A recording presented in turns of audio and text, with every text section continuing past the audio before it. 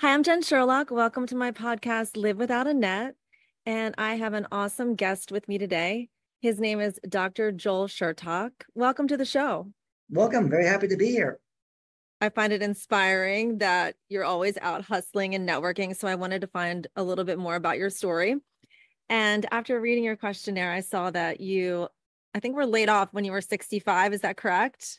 Yeah, I was laid off. Well, I've made a career being laid off every five to eight years and that that is just the nature of being an engineer these days. Uh, the the the era of a 30 year veteran is is long gone.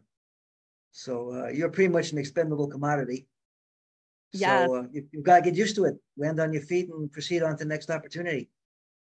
That's been my experience. I mean, I as I as I wrote, um, I did not plan to be a consultant. My my master plan was to work at my job till I was 72 and maximize my Social Security and then retire.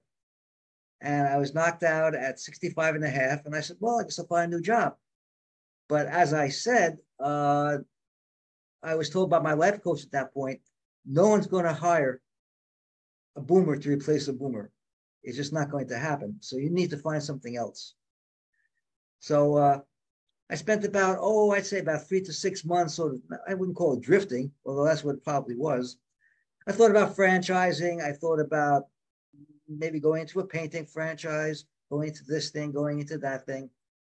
And I said, you know, I might as well realize I'm going to have to look out for myself. I own for my own consulting business uh, in 2014 and never looked back.